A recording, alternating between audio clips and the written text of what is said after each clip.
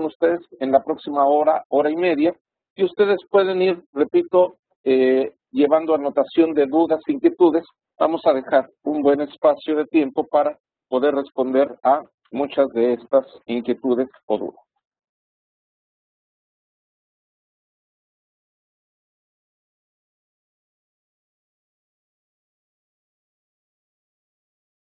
Todo proceso de enseñanza-aprendizaje debe de estar inscrito a un modelo educativo.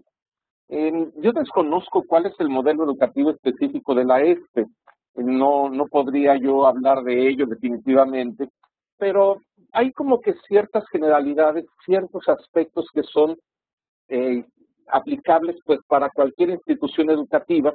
En particular, yo preparé una, una presentación hace algún tiempo acerca de, un modelo educativo que empleamos en cierta forma aquí en el Tecnológico de Monterrey, particularmente en la Universidad Virtual, pero que cuando lo vayan escuchando, y es lo que quiero compartir con ustedes, van a notar que se trata pues de un modelo que es igualmente aplicable a, cualquier institución educativa. Eh, vamos a ver esta, esta presentación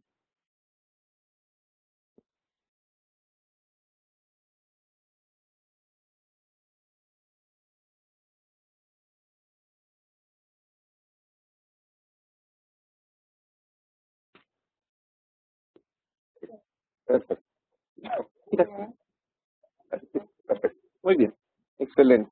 ¿Qué es lo que implica básicamente pensar en, todo este proceso de enseñanza-aprendizaje? ¿Cómo se está dando un proceso de enseñanza-aprendizaje en, en, la ESPE, en el Tecnológico Monterrey o para el caso en cualquier institución educativa? Hay varios elementos que se pueden comentar en todo esto y es algo que me gustaría ir explorando con ustedes. Por ejemplo, aquí en el Tecnológico Monterrey, particularmente en la Universidad Virtual, tenemos un concepto que denominamos equipo docente.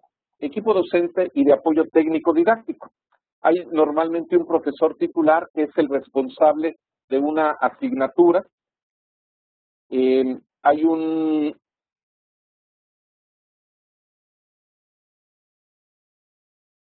perdón, Hay un profesor titular que es la persona responsable de, una asignatura, de una materia determinada. Tenemos eh, nosotros dentro del Tecnológico Monterrey un diseñador instruccional, una persona que apoya a aquellas personas que no tienen una formación pedagógica, ingenieros, administradores, a diseñar un curso en particular.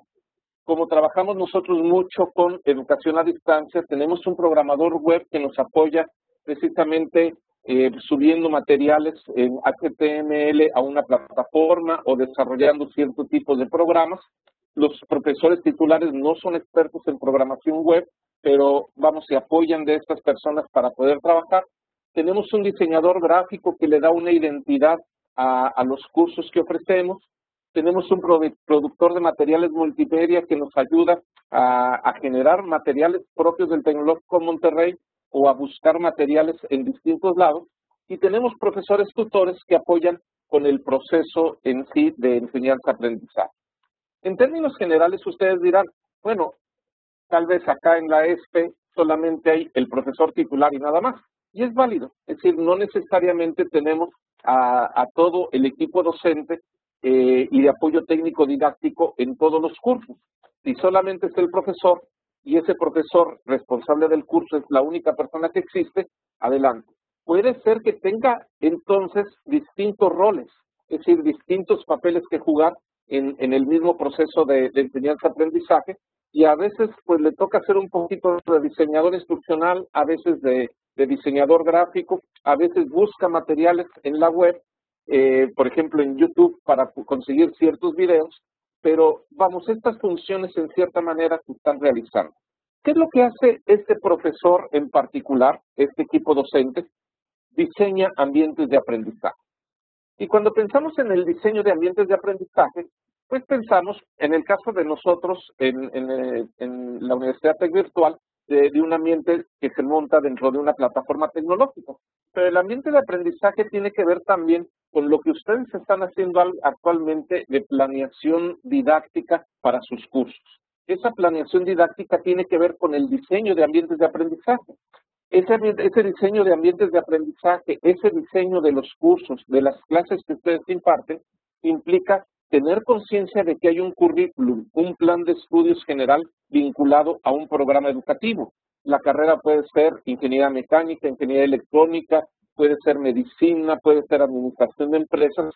Hay un plan de estudios, hay una serie de objetivos curriculares, de competencias que se quieren desarrollar. Ustedes son los expertos en la disciplina y deben tomar en cuenta al momento de efectuar ese diseño de ambientes de aprendizaje o ese diseño instruccional, básicamente la naturaleza de la disciplina. No se enseña de la misma manera las matemáticas que el español, la física que, un curso aplicado de estructuras metálicas. Cada disciplina es diferente. Deben tomar decisiones estratégicas. Esas decisiones estratégicas en términos de a qué temas le van a dar mayor énfasis, cómo van a distribuir los temas dentro del tiempo, cómo van a seleccionar un libro de texto o una serie de materiales de lectura y esas decisiones son cosas que tienen que tomar en cuenta cuando están efectuando ese diseño de ambientes de aprendizaje. Tienen que tomar en cuenta distintas técnicas didácticas. Van a usar, por ejemplo, eh, estudio de casos, van a usar Project-Based Learning o, o, lo que sería aprendizaje basado en proyectos, Problem-Based Learning, que es muy parecido, pero este está basado en problemas, aprendizaje colaborativo o algún otro tipo de técnica didáctica.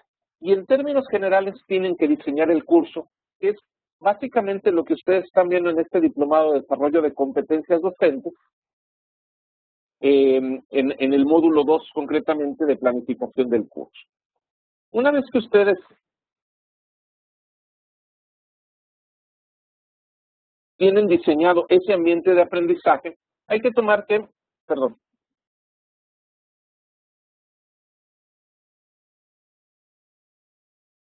hay que tomar en cuenta el perfil del alumno. Esto, desde luego, no es que, vayan haciendo una cosa y luego la otra. Yo creo que se van haciendo de una manera simultánea.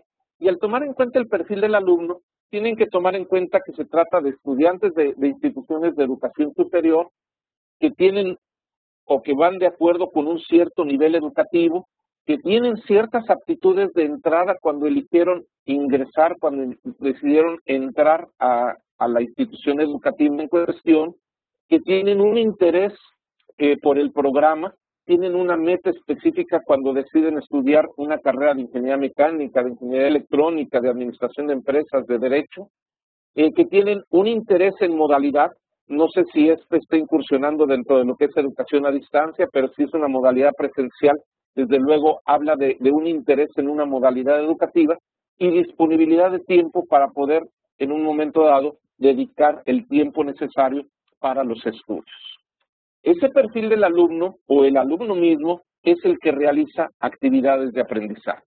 La esencia de un proceso educativo son las actividades que el estudiante tiene que realizar. Mucho de lo que sería parte de lo que están viendo en este diplomado implica un enfoque centrado en el alumno. Y ese enfoque centrado en el alumno es que tenemos que pensar, cambiar paradigmas, cambiar nuestras formas de pensar pensar un poco más en lo que el alumno tiene que hacer y no en lo que el profesor tiene que hacer en el salón de clases. Cuando nosotros logremos rediseñar nuestros cursos, efectuar una especie de reingeniería de nuestros cursos, manejando un enfoque centrado en el alumno, vamos a tener un verdadero cambio de paradigma educativo en la institución en la que trabajamos. ¿Cuáles son esas actividades que los participantes tienen que realizar?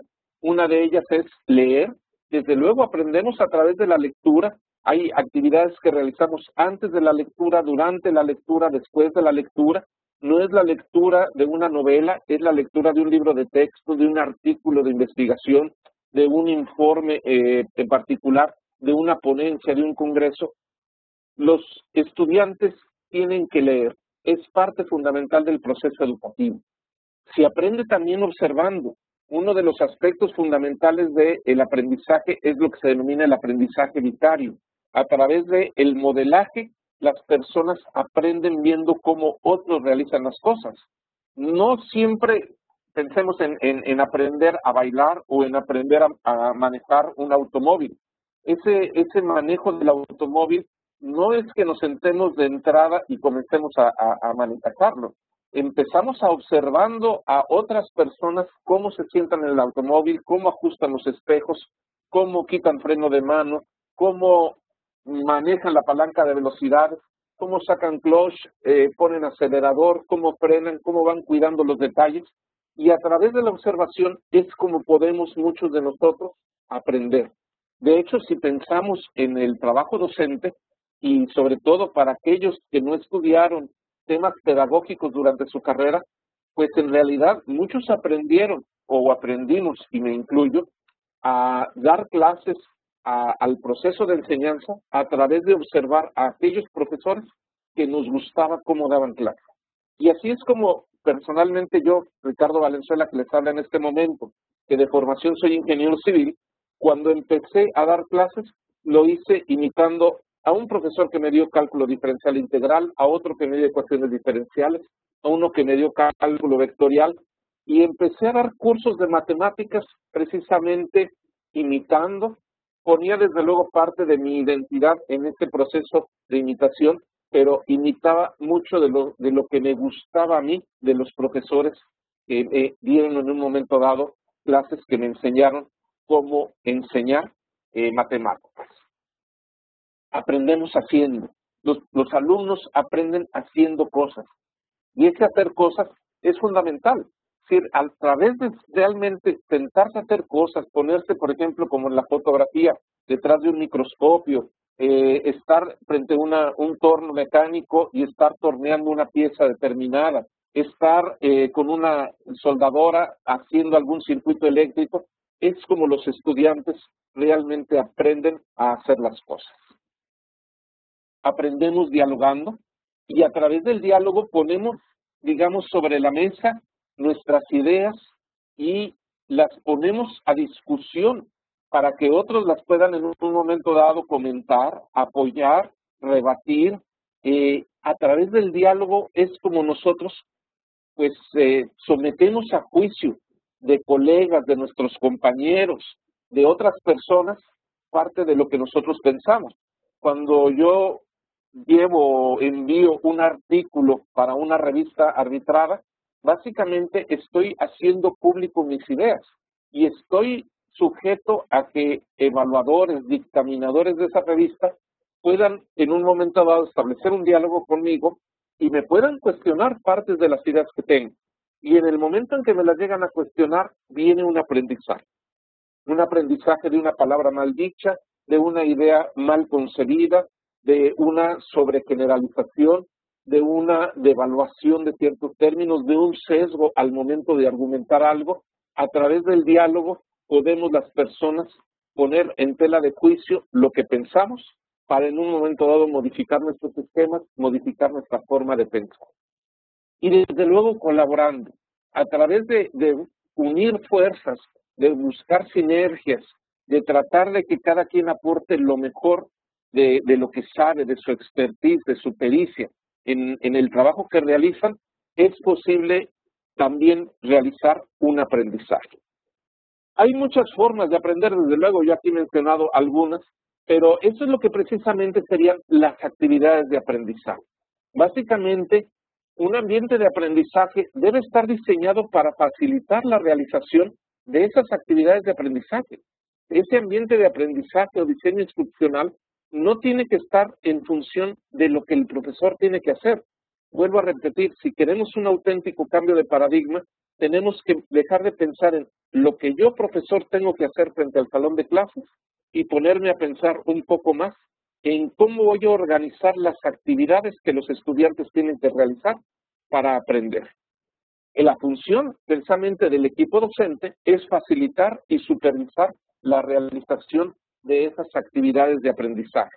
Acá en el caso de la Universidad Tech Virtual, nos apoyamos en recursos tecnológicos y muy posiblemente ustedes en la ESPE, aun y cuando tengan un programa presencial, pueden recurrir a tecnologías de información y comunicaciones, tal vez a alguna plataforma tecnológica con la que trabajen allá, con sistemas de gestión escolar, con una biblioteca digital propia de la ESPE o, o de carácter abierto, al correo electrónico o a distintos tipos de recursos educativos que están disponibles para en un momento dado, gracias a estos recursos tecnológicos, permitir la realización de las actividades de aprendizaje.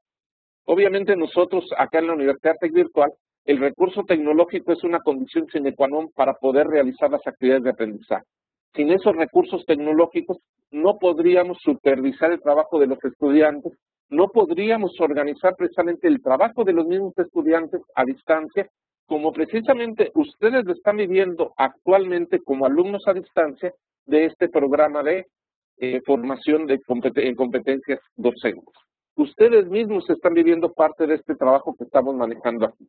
En la medida en que los estudiantes realicen esas actividades de aprendizaje, eso conduce a un aprendizaje significativo.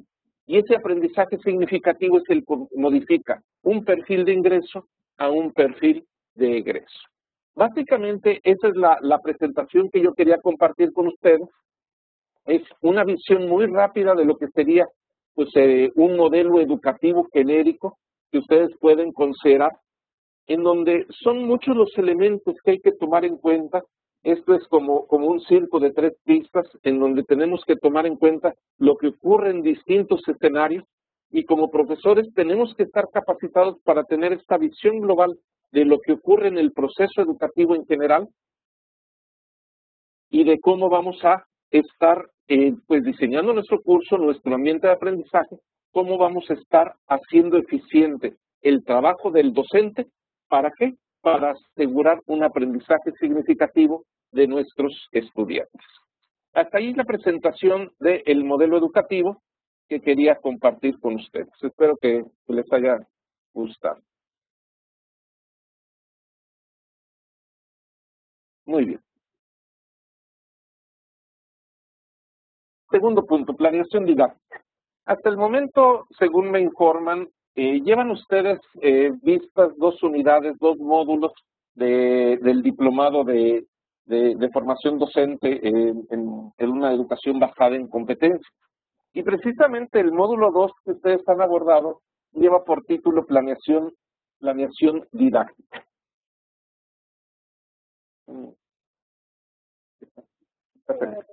Muy bien. ¿Qué viene siendo esto de planeación didáctica? En realidad el término, aunque todavía válido, estrictamente hablando es un término que, va cayendo poco a poco en desuso.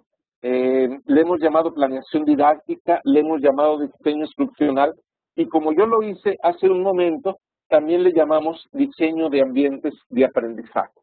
Eh, llámenle como quieran, a final de cuentas estamos hablando de lo mismo. Es decir, cuando, cuando yo mencionaba en el modelo educativo diseño de ambientes de aprendizaje, lo que precisamente quería poner énfasis es en el trabajo del docente como un recurso que está ayudando a los estudiantes a estar dentro de un ambiente de aprendizaje que precisamente promueve un trabajo más activo, más interactivo de parte de los estudiantes para que ellos a través de leer, de observar, de hacer, de dialogar, de colaborar, puedan lograr un mejor aprendizaje significativo. El término planeación didáctica o planeación del proceso de enseñanza-aprendizaje es perfectamente válido en todo esto.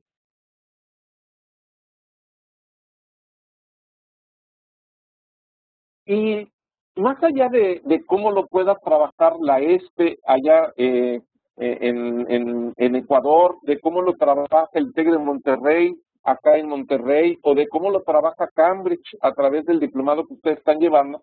En esencia, la planeación didáctica pues responde a estos eh, que, que, yo acostumbro a decir sabios compañeros que me enseñaron cuánto fue. Ellos son qué, quién, cómo, cuándo, dónde, con qué, para qué, mediante qué.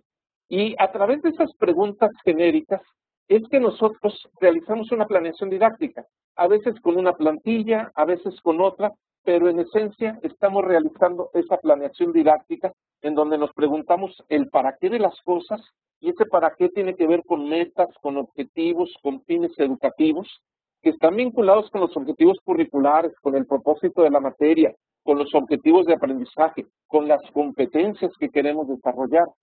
El qué, que tiene que ver con los contenidos, propiamente con la materia de estudio, si yo voy a dar un curso de ecuaciones diferenciales, pues lo voy a dividir en ecuaciones diferenciales de primer orden, ecuaciones diferenciales lineales, ecuaciones diferenciales parciales, transformada de Laplace, o los temas que se les vengan a la mente, y tenemos que ver cómo se ubica la materia en el plan de estudio ¿Cómo no puedo yo ver, por ejemplo, ecuaciones diferenciales sin haber visto previamente cálculo diferencial integral?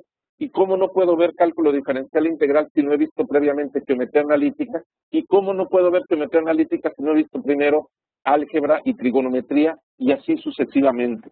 Tenemos que ver cuál es el temario de la materia, si hay otros cursos relacionados con la materia, por ejemplo, con ecuaciones diferenciales, tal vez existe un curso sobre modelaje de sistemas físicos, en donde yo veo cómo un sistema de masa, resorte y, resistencia lo puedo modelar a través de una ecuación diferencial lineal de segundo orden, o cómo a través de un circuito eléctrico que tenga eh, resistencia, eh, capacitancia e impedancia, puedo también diseñar un, una, con una ayuda de una ecuación diferencial un, una ecuación de segundo orden para poder resolver un circuito eléctrico de ese tipo.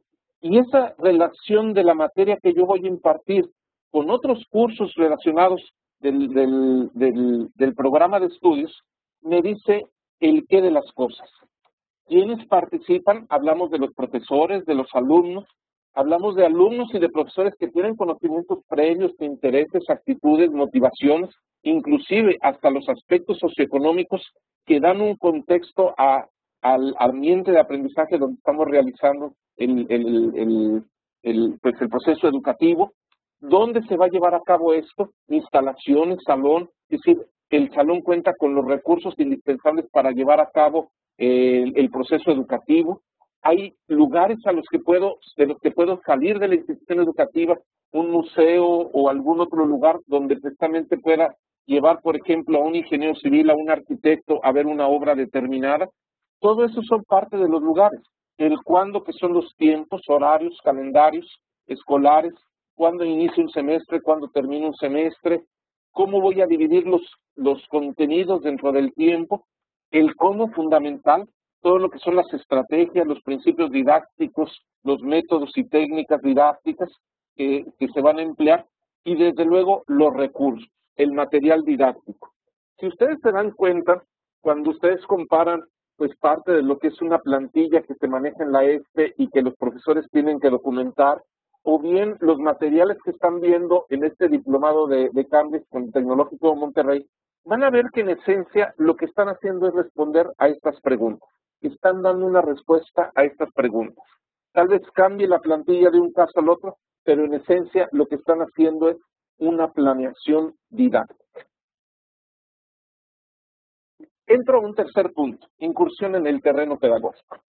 Una de las cuestiones que, muchas veces surgen cuando se ofrecen este tipo de programas educativos a personas que, que a pesar de tener una gran experiencia en, en, en educación, es decir, una experiencia práctica en la educación, tienen una limitada formación pedagógica, y ahí yo me incluyo, por ejemplo, como ingeniero civil, cuando, cuando comenzaba a llevar los primeros cursos de didáctica que me impartieron a mí en, la institución en donde yo trabajaba, viene desde luego un shock, un, un cambio total de paradigmas, y más cuando, cuando muchos de los que están, muchas de las personas, de los profesores que están tomando este programa, provienen de las áreas de las ciencias duras, de las ingenierías, eh, que es creo lo que, lo que ocurre en la ESPE precisamente cuando estaba preparando este, este documento, esta presentación para ustedes, recordé un documento que hizo uno de mis profesores, eh, este, el doctor Héctor Méndez, y él comparaba, pues hace ya algunos ayeres, pero, pero aunque la, la cita es de 1989, yo creo que sigue siendo válida este contraste, cómo son los libros de las ciencias duras con los de las ciencias sociales y de la conducta. Y esto lo comento porque vamos, a, aunque no estén llevando un libro específicamente para este curso de, de competencias docentes, pues están realizando material sobre este tema y desde luego esto puede entrar en un conflicto respecto a lo que ustedes están, han vivido hasta el momento, eh, si es que son ingenieros, si es que son matemáticos, si es que son físicos o químicos o biólogos dentro de las denominadas ciencias duras. En este contraste que hace el, el doctor Méndez, él dice que que normalmente en las ciencias sociales tiene la conducta el lector es confrontado con ideas controversiales. En las ciencias duras también hay ideas controversiales, desde luego, pero normalmente las ideas son generalmente aceptadas. O tal vez en ciertos niveles se pueda poner en entredicho pues algunos principios de la mecánica cuántica o de la teoría de la relatividad, pero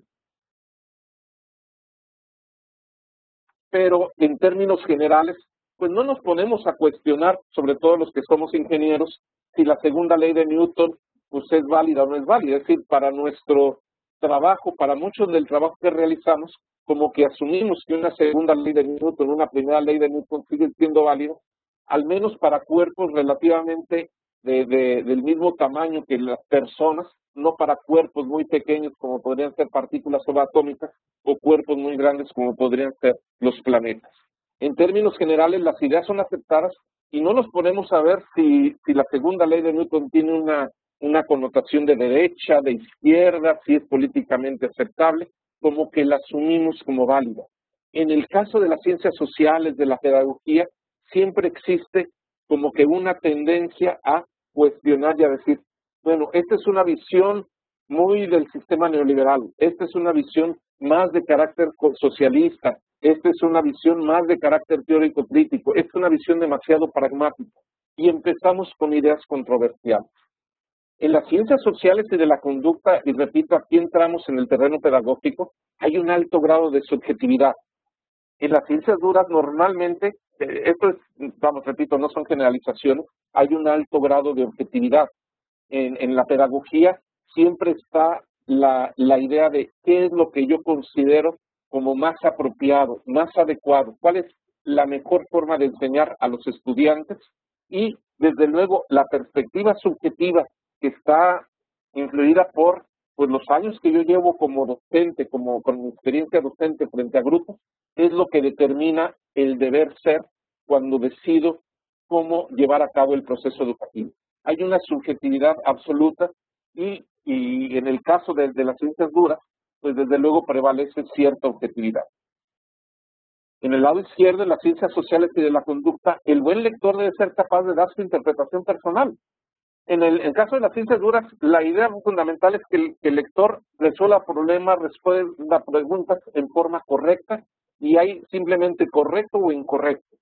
Si no nos ponemos a cuestionar si dos más tres son cinco, tal vez lo podríamos cuestionar, depende del sistema de, eh, si, estamos trabajando con un sistema base 5 o base 10, pero si trabajamos en un sistema base 10, pues dos más tres es cinco, y eso no lo ponemos en tela de juicio. Pero cuando nosotros estamos hablando de ideas en el terreno pedagógico, siempre hay una interpretación personal. En los libros de las ciencias duras existe una alta densidad de información, mientras que en los otros la densidad de información es baja. ¿Y qué quiere decir esto? Que yo, para poder comprender una fórmula tan sencilla como fuerza igual a masa por aceleración, yo puedo dedicar todo un semestre a ver un curso de mecánica, de dinámica, simplemente estudiando esta fórmula. Fuerza es igual a masa por aceleración.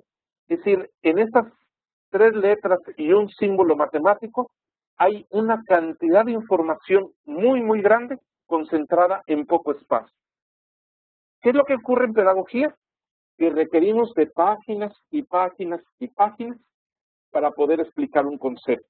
Un concepto tan simple como lo es el de aprendizaje nos lleva páginas y páginas, porque no es lo mismo hablar de aprendizaje desde una perspectiva conductista que desde una perspectiva cognitiva o socioconstructivista. Es decir, requerimos de muchas letras, de muchas palabras, de muchas páginas para poder explicar un concepto. En ciencias sociales y de la conducta, las ideas, organización de material y formas de tratar el tema cambian notablemente de un autor a otro.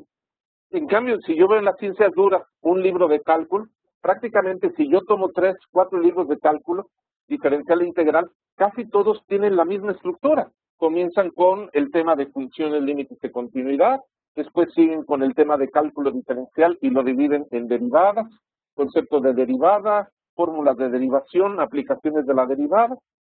Se siguen con, con una tercera sección que es cálculo integral, se ve integral indefinida, se ve integral definida, se ven aplicaciones de la integral y ahí termina el libro. Y básicamente la gran cantidad de libros de cálculo que hay o de física siguen una estructura muy similar. Pero tomen dos libros de didáctica y van a ver cómo los libros de didáctica abordan la didáctica de una forma totalmente eh, distinta. Decir, cada quien le pone énfasis eh, de distinta forma y desde luego, lo que ustedes por diplomado de, de Cambridge de Monterrey, pues es algo que puede ser muy distinto a tal vez otros cursos o diplomados que han llevado o algún libro que ustedes pueden tomar y que organizaría los contenidos de una forma diferente. En, en ciencias sociales y de la conducta usamos el español, mientras que en las ciencias duras se emplean expresiones matemáticas, fórmulas, gráficas, diagramas. En, en, la pedagogía es más fácil compensar las deficiencias previas del alumno porque los contenidos no son tan interdependientes. Pero en ciencias duras, yo no puedo enseñar, repito, ecuaciones diferenciales si mis alumnos no saben los conceptos básicos de cálculo. Y no puedo enseñar cálculos si los alumnos no saben los conceptos básicos de geometría analítica. Lo mismo pasa en la física. Yo no puedo entrar a, un curso de cinemática, de dinámica, si antes no he visto algo de estática. Y para ver algo de dinámica yo necesito primero ver algo de cinemática. Y normalmente los libros después se van a ver mecánica de fluidos con bases que ya vienen desde la mecánica misma. En términos generales yo no puedo ver temas posteriores si no hay una base conceptual fuerte como ocurre en las ciencias duras. El éxito en los exámenes de pedagogía, de, ciencias sociales, se debe a la comprensión de muchos conceptos y a poder recordar muchos detalles específicos. En, las ciencias duras, el éxito se debe a la comprensión de pocas fórmulas y conceptos claros y a saber cómo manipular. Es decir, la respuesta correcta, el llegar a la solución de un problema determinado es lo que garantiza el éxito en las ciencias duras agarren un libro, tomen un libro de ciencias sociales, de la conducta, de, pedagogía, y rara vez hay apéndices o estos son pocos. En las ciencias duras hay muchos apéndices, tablas, secciones de revisión, formularios, glosarios, soluciones de ejercicios propuestos. El tipo de apoyos que vemos en estos libros es muy diferente. De hecho, las ciencias duras se caracterizan por ejercitar mucho a los estudiantes. Nosotros no nos ponemos a hacer ejercicios pedagógicos, desde luego ustedes tienen que hacer uno en el en el que tienen que documentar, diseñar su curso, pero estrictamente hablando no hay una gran cantidad de ejercicios dentro de las ciencias sociales. Tomen un libro de ciencias sociales, de, pedagogía, y van a ver un gran número de referencias bibliográficas. Pero en las ciencias duras es muy raro que existan referencias bibliográficas, a menos que sean desde luego artículos de investigación ya de, alto nivel. Pero en un libro de cálculo no nos ponemos a citar si esta idea la dijo primero Newton o si la dijo Leibniz si la dijo en un contexto determinado, la dijo en otro, como que no nos ponemos a cuestionar precisamente las referencias eh, de donde proviene cierto conocimiento que estamos en física, en matemáticas, en áreas de ingeniería. Se usa un diccionario estándar, mientras que en el otro se usan eh, diccionarios científicos o técnicos. ¿Qué quiero decir con todo esto en este contraste que estamos haciendo? Que básicamente el incursionar dentro de lo que vienen siendo las ciencias sociales, las ciencias pedagógicas, implica para muchos de, aquellos que no han tenido una formación pedagógica sólida, implica un shock, una forma diferente de ver las cosas. Eh, es salir de lo que sería el área de, de las ciencias duras y entrar en un área que es hasta cierto punto incierta, ambigua, y tenemos que aprender a vivir con ello. Yo recuerdo que, una vez que terminé la carrera de ingeniería civil, eh, comencé a, a estudiar una maestría en enseñanza superior y cuando estaba estudiando esta maestría en enseñanza superior, uno de los primeros cursos que llevaba era filosofía de la educación y me hablaban de la existencia y la esencia de la educación, que si tenía existencia o no la tenía, que si tenía esencia o no la tenía, y, y, y había términos que yo no lograba comprender y decía, denme una definición, y no había una definición única en que todo mundo estuviera de acuerdo. Y esto, desde luego, para quienes veníamos de las áreas duras, era muy frustrante, era, eh, decíamos, ¿cómo es posible que avancen las ciencias pedagógicas con esta ambigüedad? Y pues poco a poco uno se va dando cuenta a qué se debe precisamente esta situación. Y uno aprende a vivir con esta ambigüedad, que es un mal precisamente de todo lo que tiene que ver con el estudio del ser humano. Y, tal vez eso es precisamente lo que hace más interesante el estudio de la pedagogía, que tenemos que ver con los seres humanos, con las personas, con sus procesos educativos y que el ser humano en esencia es muy complejo, mucho más complejo que entender la caída de un cuerpo libre o el movimiento de un engrane o de un sistema de biela, manivela, corredera que puedan ustedes ver dentro del campo de la ingeniería. Y tenemos que aprender a vivir precisamente pues con estas ambigüedades, con estas eh, áreas eh, oscuras que a veces nos ofrecen las ciencias sociales, las ciencias de la conducta, la psicología y la pedagogía.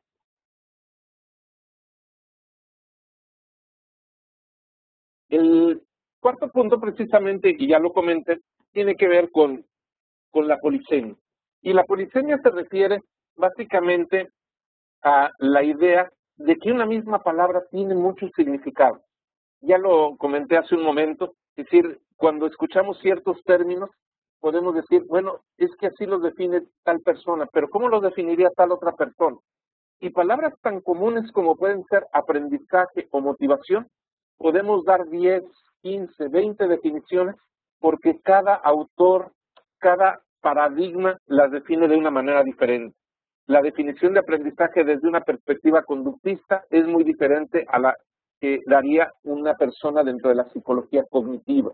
La palabra de motivación también es muy, muy distinta desde una perspectiva conductista, por ejemplo, Hull, a la que podría dar algún, algún teórico de la motivación como podría ser Wayne. Y dentro del terreno pedagógico vamos a ver nosotros que, que también tarde o temprano vamos a llegar a términos que no sabemos exactamente a qué se refieren. Por ejemplo, ustedes van a ver en un momento dado eh, la técnica o método de estudio de casos. Y precisamente aquí yo ya dejo ver algo. ¿Se trata de una técnica? ¿Se trata de un método? ¿Se trata de un modelo? ¿O de qué? ¿Cómo podríamos hablar de estudio de casos? ¿Es un modelo, un método o una técnica didáctica? Lo mismo podríamos pensar en aprendizaje orientado a proyectos, en donde hay distintas etapas del aprendizaje orientado a proyectos y podemos nosotros ver cómo diseñar una serie de entregables para los participantes a través precisamente de eh, esta técnica didáctica o este método de enseñanza. Y podríamos ver, por ejemplo, el aprendizaje basado en problemas. En este aprendizaje basado en problemas, aquí ustedes están viendo un modelo de los muchos que hay, el modelo de la Universidad de Maastricht, acerca de cómo a partir de una situación problemática, un grupo comienza a analizar pues, una situación problemática de acuerdo con una metodología muy específica. Y vuelvo a preguntar, ¿nos referimos aquí a modelos, a métodos o a técnicas didácticas? Yo les diría a las tres o a ninguna de las tres, depende de cómo lo veamos. Cuando yo veo, por ejemplo, en la Universidad de Maastricht, y me regreso, perdón, me quedo en esta, en esta, en esta diapositiva, cuando veo la manera en que eh, Maastricht define el, lo que sería el aprendizaje basado en problemas, la Universidad de Maastricht lo tiene definido como un modelo educativo. Y ese modelo educativo está presente en todas las asignaturas de todos los planes de estudio o de una buena cantidad de planes de estudio. Todo lo que es la carrera de Derecho, de Administración, sobre todo de Medicina, se maneja a través de el ABP o PBL por sus siglas en inglés, Problem Based Learning. Y desde esa perspectiva hablamos de un modelo educativo que está permeando a todas las asignaturas de un plan de estudios de un programa educativo. Pero si no es el caso, por ejemplo, de la ESPE, como no es el caso de muchas universidades, que esto esté a nivel de modelo, bien podríamos ver el aprendizaje basado en problemas como método. Y como método de enseñanza estamos pensando fundamentalmente en lo que sería un método de carácter inductivo, porque a través de, em, mostrar a los estudiantes distintos tipos de problemas, ellos poco a poco de casos particulares van sacando un conocimiento general de las cosas y entonces van ellos precisamente construyendo el conocimiento propio de la disciplina a partir de esos casos particulares. Y también se caracteriza esta metodología por ser de carácter holístico porque la idea es ver el problema en toda su complejidad. Por cierto, estos aspectos metodológicos de inducción y holismo del que, estamos hablando para el aprendizaje basado en problemas, también son propios de lo que vendría siendo el aprendizaje orientado a proyectos o el estudio de casos. Todos ellos tienen una metodología inductiva y una metodología holística. Inductiva porque la manera de pensar del estudiante y de los profesores va de lo particular a lo general. Y es holística porque los problemas, los casos, los proyectos pretenden ver esos problemas, casos y proyectos de una forma holística. Y también al mismo tiempo estos tres ejemplos son técnicas didácticas. Al ser técnicas didácticas hablamos de, técnicas que tienen paso 1, paso 2, paso 3, paso 4, tiene pasos propios que dependiendo del modelo que se esté manejando, por ejemplo, en este caso que ven ustedes en pantalla de la Universidad de Maastricht, una serie de pasos que los, los estudiantes tienen que ir llevando a cabo eh, sistemáticamente. Y que el profesor tiene que tomar muy en cuenta dependiendo de cómo, cómo conceptualice el ABP, el estudio de caso o el aprendizaje orientado a proyectos, depende de cómo lo conceptualice, tiene que diseñar la actividad de aprendizaje para que esos pasos se vayan llevando de una manera sistemática. Entonces, en conclusión, para este punto, fundamentalmente lo que quiero decirles es, van ustedes a estar estudiando una serie de conceptos y esos conceptos va a ser difícil a veces definirlos. Va a haber cierta polisemia, ciertos eh, términos que van a tener distintos significados o ciertos conceptos, en este caso, por ejemplo, lo que estamos viendo, el PBL, que bien le podemos llamar modelo, le podríamos llamar método, le podríamos llamar técnica didáctica, y precisamente dentro de esta ambigüedad de no poderle llamar de una sola forma en particular, dentro de esta polisemia que caracteriza las ciencias pedagógicas, es donde tenemos, repito, que aceptar la ambigüedad y vivir con esa ambigüedad si es que estamos dedicados a esta noble función que es la docencia. Muy bien. En quinto punto de los ocho que quería compartir es eh, el concepto de transferencia. Este punto ya lo han de haber visto ustedes en el módulo 2, al menos yo estuve revisando antes de preparar esta presentación lo que ustedes han visto hasta el momento y precisamente veo que uno de los puntos que, se abordan dentro del módulo 2 es el concepto de transferencia. Entendía la transferencia, otra vez volvemos a, la poliseña de los términos, entendía la transferencia no como se maneja dentro de los terrenos eh, ingenieriles de transferencia tecnológica, sino como un proceso mental en donde la persona tiene que aplicar lo que aprendió en un contexto general en un contexto particular. Y quise traer este tema aquí a colación porque una de las inquietudes que, que le han manifestado a los organizadores de este diplomado tiene que ver con, con qué tanto este diplomado se está adecuando precisamente a la realidad, a la situación concreta de, una institución como lo es la ESPE. Y, y, de una vez quiero comentar esto porque este diplomado en particular, este diplomado internacional de, en competencias docentes, más que ser un traje a la medida, viene siendo un traje hecho para distintos clientes. Es decir, el modelo que está manejando la Universidad de Cambridge con el TEC de Monterrey, básicamente es un modelo que se ha aplicado, es un, un, diplomado que se ha ofrecido a distintas instituciones educativas y no es un traje a la medida hecho para esto. Y esto desde luego nos lleva precisamente a la cuestión de lo que sería el problema de transferencia. ¿Cómo aplico en un contexto particular lo que estoy aprendiendo en un contexto general? No es un diplomado en donde usemos la misma terminología que está usando la ESPE, por ejemplo, para las cartas descriptivas, para los planes de estudio, para la manera de denominar a los objetivos, los logros, las competencias. Simplemente esto viene de un diplomado más general y qué bueno que así sea. Yo lo que quiero decirles es que, que no necesariamente el tener el traje a la medida es una buena cosa en el proceso educativo. Desde luego, muchos quisiéramos tener el traje hecho a la perfección, hecho a la medida, pero también es bueno de vez en cuando salir a alguna tienda, ver qué tipos de trajes se hay, ver qué opciones tengo, no confiarme solamente al estilo que me pueda dar un sastre al cual recurra para hacerme el traje, sino ver distintos tipos de trajes y ver qué es lo que me conviene en un momento determinado. En ese sentido, el hecho de estar cursando este diplomado nos habla precisamente de poder ver otros puntos de vista, cómo otras instituciones están trabajando el tema de la formación docente y el desarrollo de competencias docentes en, un modelo de educación basada en competencia. Y, y yo lo siento como algo muy positivo, pero sí tenemos que estar conscientes de que este diplomado, vuelvo a repetir, no es un traje a la medida, es un diplomado que les puede a ustedes dar una visión de qué se está haciendo en otras partes, en otras partes del mundo, y que en un momento dado pueda nutrir, pueda hacer que salgamos de nuestra burbuja y podamos ver qué es lo que se está haciendo por otros lados. En la medida en que ustedes asuman que el curso, que el diplomado tiene esa característica, yo creo que le van a sacar mucho más provecho. Y desde luego, uno de los aspectos que ustedes tienen que tener muy en cuenta para ustedes como estudiantes de este diplomado es el proceso de transferencia. Así como lo tienen que tener en cuenta para sus estudiantes, lo tienen que tener en cuenta para ustedes como estudiantes de este diplomado.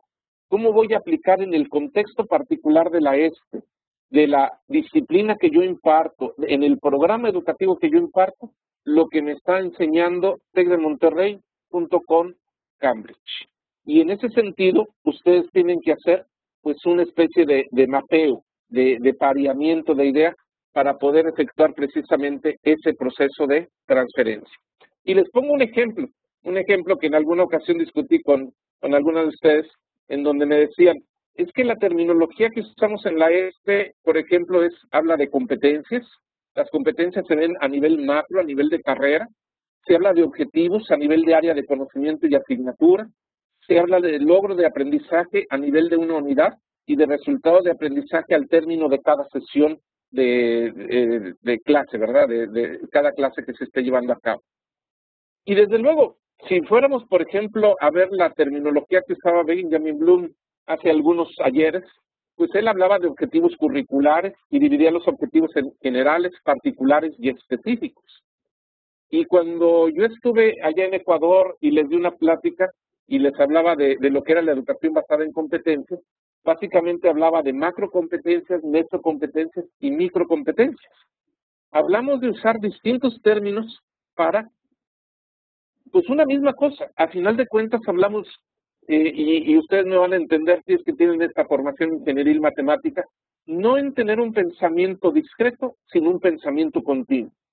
Y más que ver la división de los objetivos o competencias en cuatro grandes apartados, tenemos que ver que hay un continuum de propósitos educativos desde los más específicos hasta los más generales, y, así como pudimos haber dividido esto en cuatro, pudimos haberlo dividido en diez o en cien distintos niveles, o simplemente en dos. Es decir, no importa tanto cómo dividamos eh, estos niveles. Pensemos en una forma más general, veamos el continuum de propósitos o de intenciones educativas dentro de un continuum como dentro de una recta de los números reales y podamos ubicar en esa recta de los números reales distintos grados de generalidad o de especificidad de los propósitos o intenciones educativas. Que en el diplomado se le llama de una forma, de acuerdo. Que en la ESPE le llaman de otra forma, no hay problema.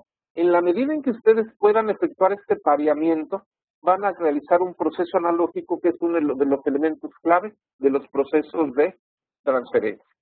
Y esto que estamos viendo aquí para el aspecto pedagógico es igualmente aplicable cuando sus estudiantes egresen de la ESPE y puedan en un momento dado ir a una, a una empresa a trabajar y tengan que aplicar lo que vieron en un contexto general de la ESPE en una situación particular de una empresa, de una organización con la que estén trabajando.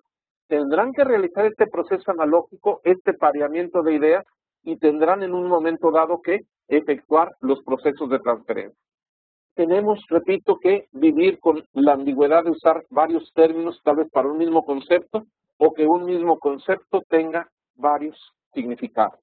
Pero no se preocupen, yo siempre confío en la capacidad de profesores de que pueden sobrellevar estas ambigüedades, esta polisemia, estos términos distintos para un mismo concepto y que pueden llegar a comprender precisamente que esto es una realidad del campo de la pedagogía, de las ciencias de la conducta, de las ciencias sociales.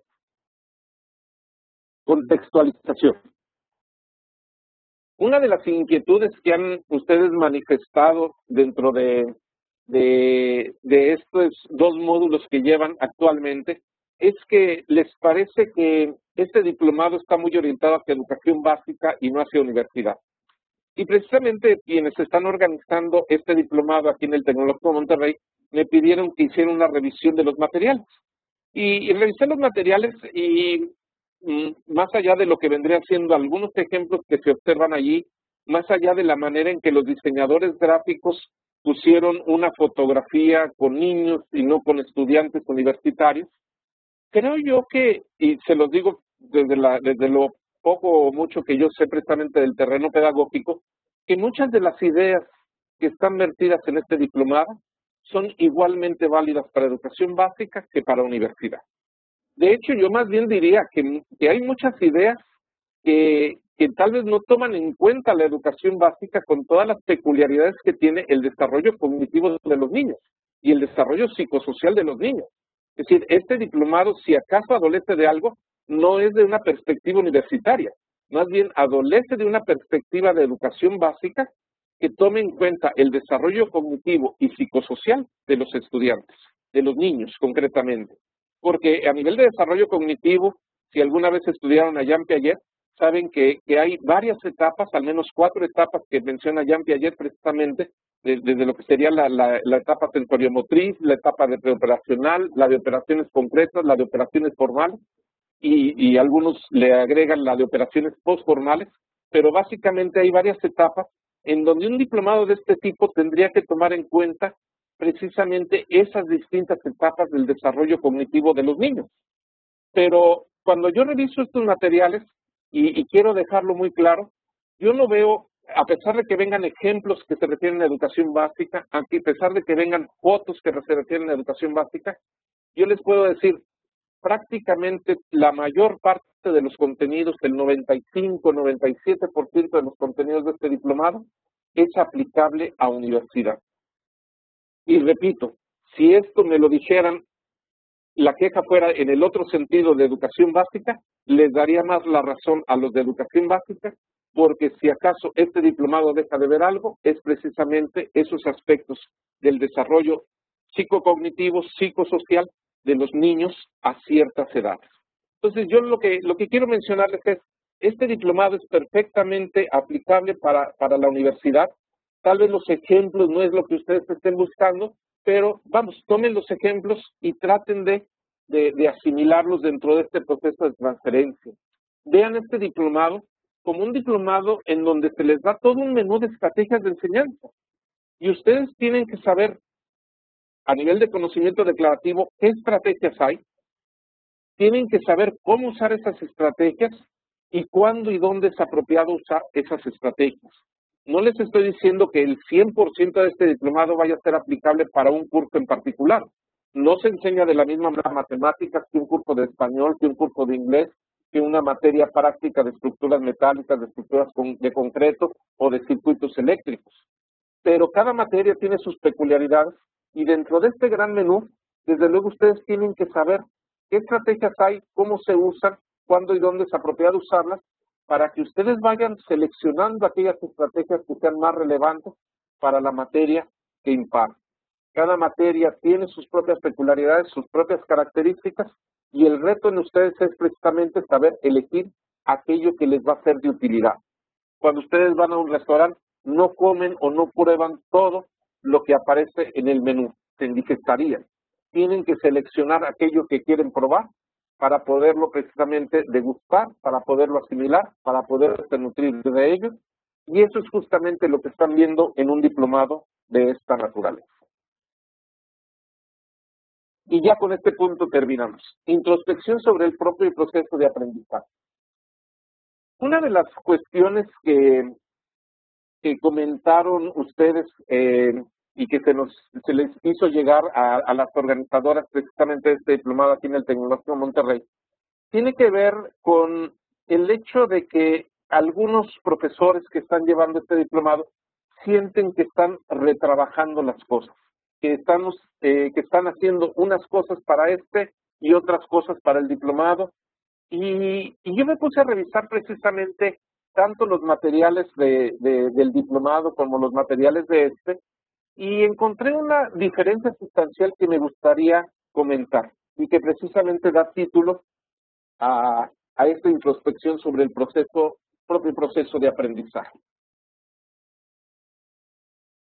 En, en el diplomado, más que generar un formato que ustedes tengan que llenar para que lo vea una autoridad de la institución que asegure la calidad del curso que ustedes están impartiendo, yo diría que este diplomado está contribuyendo para que ustedes hagan una introspección sobre lo que implica el diseño del programa y cada una de las clases que ustedes van a impartir. Cuando yo veo, por ejemplo, estas preguntas, ¿qué aspectos de su práctica profesional le gustaría cambiar y mejorar durante la realización del diploma, el diplomado y por qué? ¿Cuáles son los factores que considera más importantes en el diseño del programa de aprendizaje y por qué? O estas otras, ¿cómo ha identificado las necesidades, aspiraciones y potenciales de sus estudiantes? En fin, una serie de preguntas. Yo no veo estas preguntas dentro de los formatos de la ESPE. Es decir, el formato de la ESPE pretende recopilar información de sus profesores en otro sentido.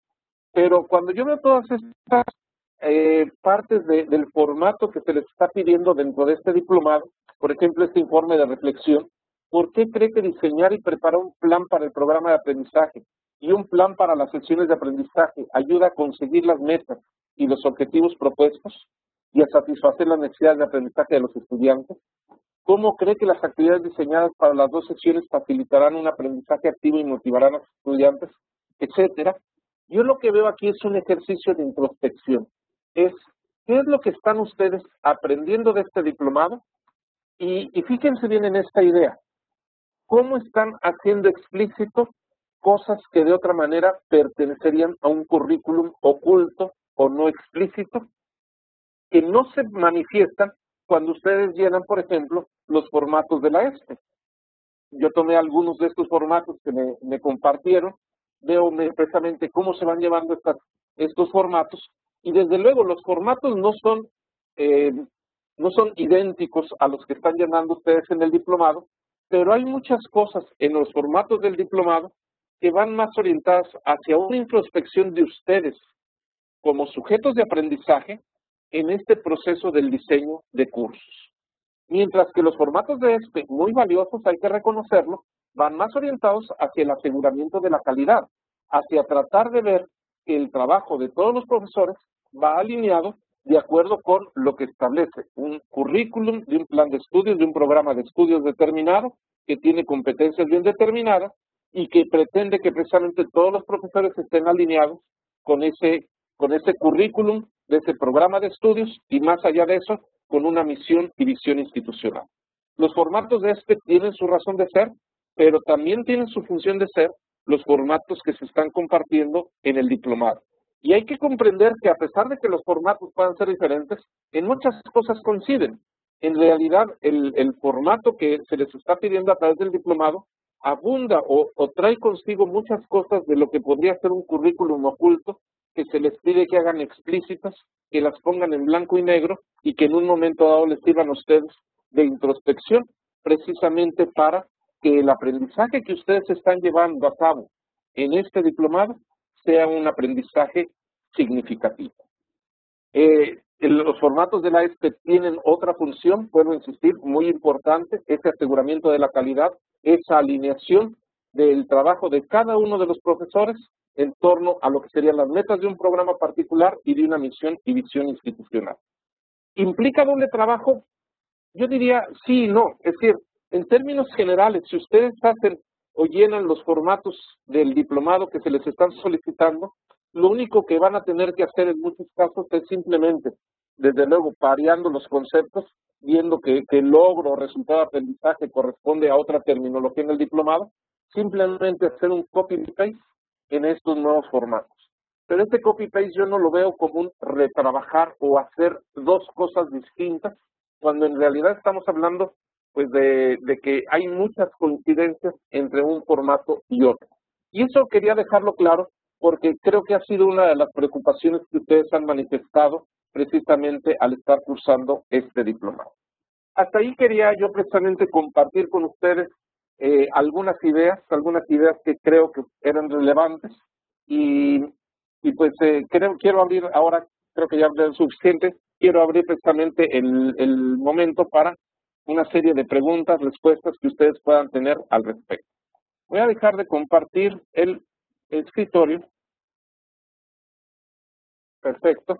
Y ya veo que hay varias preguntas por aquí plasmadas y algunas ya las estaban anotando por acá. Muy bien. Eh, pregunta, ¿podría compartir una secuencia didáctica que en su experiencia le ha dado excelentes resultados en algunos de los cursos que ha dado? Eh, ecuación, bueno, en ecuaciones diferenciales, cuando daba ese tipo de cursos, no, no, este, eh, no había todavía todos estos recursos tecnológicos, este, de hecho, hasta contar, yo soy de la época en donde se trabajaba todavía con WordStar, con WordPerfect, todavía Word no existía, y estoy hablando de hace muchos ayeres cuando precisamente veíamos los temas de ecuaciones diferenciales. Pero sí, sí puedo compartir con ustedes Déjenme volver a compartir el escritorio. A ver si se alcanza a ver.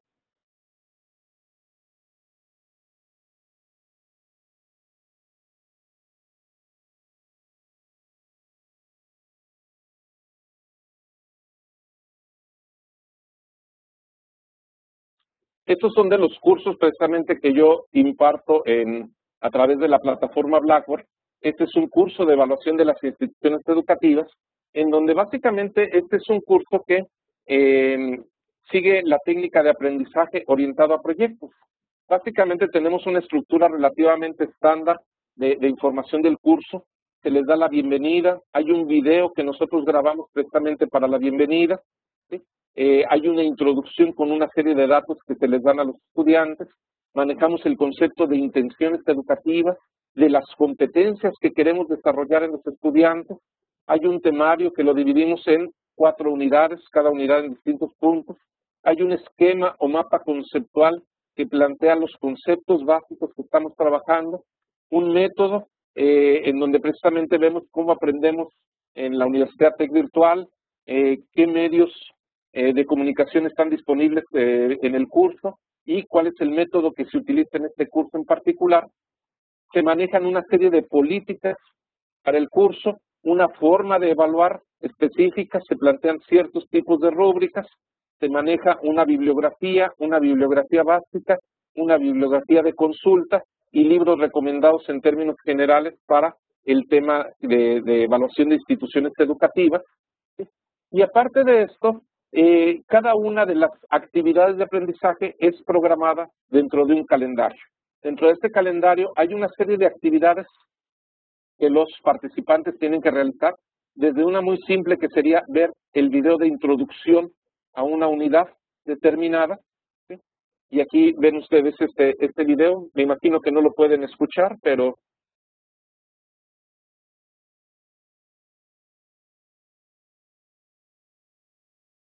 escuchas. Bueno, eh, no se puede escuchar a través de la herramienta de, Webex, pero, pero e, existe, vamos, hay, hay un sonido ahí específicamente. Eh, hay una serie de materiales que los participantes tienen que revisar, se dan instrucciones en cada uno de ellos y posteriormente pues hay actividades concretas que cada uno de ellos tiene que realizar. Por ejemplo, en algunos casos vienen siendo actividades eh, de carácter grupal, por ejemplo, identificar indicadores clave para cierto tipo de institución educativa, definir la institución educativa que se va a evaluar, socializar las experiencias, en fin, presentar un examen.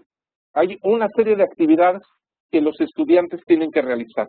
Si se dan cuenta, el diseño de este curso es un diseño centrado en lo que el estudiante tiene que realizar, ya no tanto en lo que yo, profesor, tengo que realizar frente a grupo. Vamos, de hecho, pues yo no tengo un grupo físico al que le dé clases, sino que yo estoy trabajando con ellos. En los únicos momentos en que puedo estar frente al grupo es por aquí, en donde aparece participar en una sesión Webex. Y así como ahorita estoy frente a ustedes virtualmente hablando en esta sesión Webex, aquí les digo que en tal fecha en particular, el 13 em, de marzo del 2014, tienen que conectarse a una sesión Webex, tal y como lo están haciendo ustedes en este momento. Esto es algo pues que trabajamos nosotros mucho. En recursos de apoyo se plantean distintos materiales, cada, cada unidad tiene ciertos tipos de lecturas, algunas son abiertas, por otras pagamos por derechos de autor, pero cada uno de ellos los lleva a un documento en particular que los estudiantes tienen que realizar. Y de esta manera es como nosotros estamos eh, diseñando nuestros cursos. Hay foros de interacción, en este caso los foros de interacción son aquí, por ejemplo, con dudas para el profesor titular, que en este caso soy yo. Eh, los, alumnos preguntan, yo respondo en una forma asincrónica y aparte cada uno de los tutores tiene sus propios grupos, sus propios números de alumnos asignados y dividen en distintas unidades y en cada unidad van atendiendo las dudas de sus estudiantes. Entonces, este es un ejemplo muy concreto de lo que vendría siendo el, eh, pues una secuencia didáctica, vamos, un diseño de un curso, tal y como lo manejamos nosotros en, eh, en, eh, la Universidad Tech Virtual, que es la manera en que, en, relativamente estándar, digamos que estos son nuestros formatos que nosotros tenemos que llenar, tal vez no se parecen propiamente a los que ustedes tienen en, en este diplomado, pero nosotros también tenemos que llenar estos formatos de acuerdo con una lógica específica y es la manera en que nosotros diseñamos los cursos, siempre con un enfoque centrado en el, estudiante y dejando muy claro cuál es la técnica didáctica que se está empleando en todo eso. Aquí en este caso ya no se los mostré, perdón, pero básicamente aquí en la parte de metodología, aquí se habla precisamente de el proyecto de evaluación y se alcanza a ver, el curso está diseñado con la base, con base en la técnica de aprendizaje orientado a proyectos.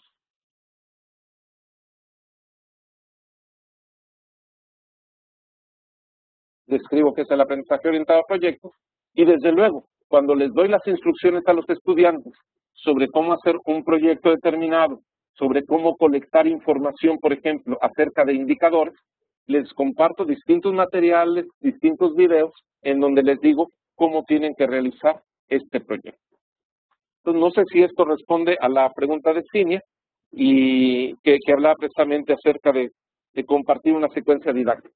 Desafortunadamente, Cinia, no tengo eh, un ejemplo propiamente del área de ingeniería o del área de las matemáticas, porque repito, hace muchos ayeres que impartía ese tipo de cursos. Y, y también pregunta, en su experiencia como docente en las ciencias duras, ¿qué podría sugerir a los docentes sobre cómo poder compensar las deficiencias previas del alumno? Yo creo que ese es, una de, es uno de los problemas más, más eh, recurrentes que yo creo que todos vivimos, eh, inclusive yo tenía un, un director de, de, la escuela de ingeniería que decía, eh, los de ecuaciones diferenciales se quejan de los de cálculos porque no los preparan adecuadamente. Los de cálculo se quejan de que en lo que nosotros aquí en México llamamos preparatoria, eh, que no sé si será educación secundaria allá en Ecuador o cómo le llamen, es decir, lo que sería grados 10, 11 y 12, no los preparan adecuadamente en geometría analítica, en trigonometría y los de preparatoria se quejan de que los de secundaria pues no les dan las bases de, del álgebra básica y los de secundaria se quejan de que la educación primaria o básica no los forma pues en cuestiones elementales de, de, de, de geometría, de aritmética que los estudiantes tendrían que hacer. Entonces, si nos vamos a dar cursos propedéuticos, decía un poco en broma el, el director, pues yo creo que tendríamos que irnos a darles cursos propedéuticos a las mamás embarazadas para ver si por osmosis se logra que aprendan los niños. Lo decía un poco en forma chusca, pero, pero sí es un problema recurrente. Y yo creo que es un problema que tienen que abordar ustedes a nivel departamental o dentro de la escuela, facultad, no sé cómo está organizado, división o, o como le llamen ustedes allá en la este, para identificar precisamente, uno, la gravedad del problema, es decir, cuáles son las deficiencias que tienen los estudiantes. Tal vez efectuar ciertos tipos de exámenes diagnósticos y tener, eh, por ejemplo, en una plataforma tecnológica, una serie, un programa de recuperación, un programa propedéutico, en donde se le diga al estudiante, tú estás en tal nivel, necesitas tal nivel para llevar esta materia y te vamos a dar una, dos semanas precisamente para poder compensar las deficiencias que tienes. Pero yo creo que si este es un problema genérico y más Si estamos pensando en una institución como este que tiene una gran cantidad de carreras de ingeniería, yo creo que esto es algo que se tiene que pensar a nivel institucional, porque me imagino que es un problema general. No, no, no, no lo sé en Ecuador, pero yo al menos lo que me tocó vivir aquí en México es que era un problema general de, de la institución donde yo trabajaba y de instituciones, de universidades públicas como la UNAM, donde también yo trabajé en alguna ocasión. Entonces, sí es algo que tienen ustedes que comentar a nivel, a nivel departamental, a nivel de facultad y en un momento dado establecer mecanismos para compensar esas deficiencias. Incluso, ¿por qué no formar algún tipo de, de, área de, de asesoría para los estudiantes que pueden en un momento dado asesorar a esos estudiantes que tienen algún problema? Muy bien. Eh, José Rugel pregunta, dice, ¿me podría ayudar con un modelo de tipo de clase que le ha ayudado a mantener interesados a los alumnos durante la impartición de alguna materia que usted ha dictado? un, un modelo tipo de tipo de clase. Pues yo creo que, vuelvo, vuelvo a insistir, no, no me gustaría así hablar de un modelo particular, bueno, de hecho no lo tengo así en mente en particular. Yo creo que cada grupo es diferente y también cada materia es diferente y cada profesor tiene que ver hacia el interior, hacia una especie de introspección de su identidad docente, cuáles son las fortalezas y por dónde tiene que utilizarlo. Yo tal vez no sea un profesor muy, muy eh, amigable, eh, creo que era relativamente efectivo. A veces cuando daba cursos de, ingeniería, pues me veían más como un ogro. Ya he cambiado, pero también desde hace 15 años que no estoy frente, frente, frente al salón de clases. Eh, trabajo de manera virtual y es otra la forma de interacción que tengo.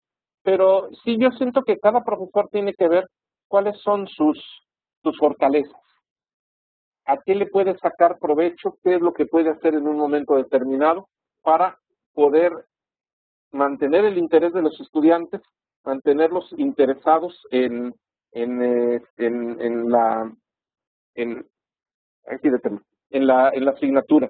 Yo, yo lo que diría, y, y, aquí voy a irme hacia, hacia el tema de, de motivación que me gusta mucho. Déjenme compartir el escritorio nuevamente. Voy a abrir una nueva ventana y les voy a poner una formulita que me gusta mucho. Estoy hablando con una gran cantidad de ustedes como ingenieros, es mejor hablarles con fórmulas. Y esta, esta fórmula nos dice que la motivación es el resultado de multiplicar dos variables importantes, esperanza y valor. En términos generales, las personas se sienten más motivadas eh, cuando encuentran valor en lo que están estudiando. Entonces, si la pregunta que nos hace de profesor, ya se me olvidó el, nombre, ahorita me, me, lo van a volver a mostrar. No, no sé qué moverlo. Perfecto. Eh, José, José Rugel, eh, si, si me pregunta, ¿cómo mantener interesados? Yo lo que diría es, si aquello que están estudiando no es valorado por los estudiantes, ya vamos por mal camino. Y ese es el gran problema a veces en cursos de matemáticas, que tienen una desventaja respecto a materias terminales dentro de un plan de estudio. que las materias terminales ya se ven con una aplicación más práctica, las matemáticas se ven más abstractas, más, más en, en, lo etéreo, más en las nubes. Pero si logramos identificar cuál es el valor que tiene aquello que estamos enseñando y nosotros como profesor logramos convencer a los estudiantes que eso que estamos enseñando realmente tiene valor, eso yo creo que es un aspecto fundamental que deben ustedes considerar. Pero el valor no lo es todo. Fíjense que hay otro aspecto que es el que se denomina esperanza. En inglés le dicen expectancy, la teoría se llama expectancy value theory, eh, eh, que es las dos variables fundamentales de la motivación. Pero yo la palabra expectancy la estoy viendo como, eh, la traduje hace un momento como esperanza. Y para los que son matemáticos y recuerdan sus clases de probabilidad y estadística, hay un concepto que se denomina esperanza matemática. La esperanza matemática es la probabilidad de que algo ocurra. Y en el caso del proceso educativo, la probabilidad de que los estudiantes tengan éxito en algo, eso es lo que determina la motivación.